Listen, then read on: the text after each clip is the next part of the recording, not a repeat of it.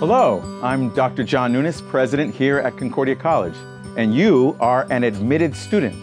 Congratulations.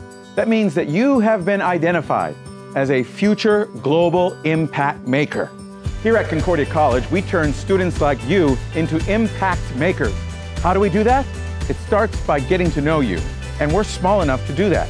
Each of your professors will know you by name. You can text them or email them any of your questions, and they will answer.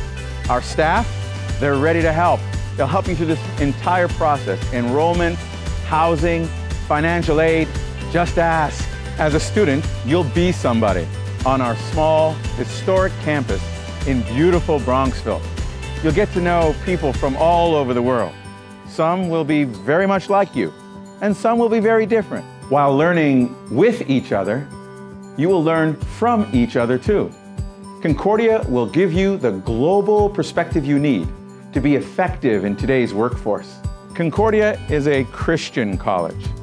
Here, that means we know who we are so that you can be who you are.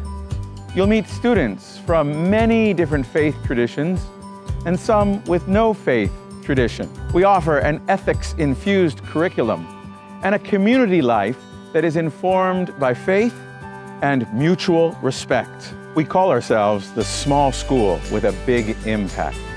That's because we are dedicated to preparing you for a life of passion, purpose, and service.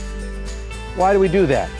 Because when people find their passion, when people find their purpose, when people offer their service, they go on to make a big impact in our world. Congratulations again on your admission to Concordia College.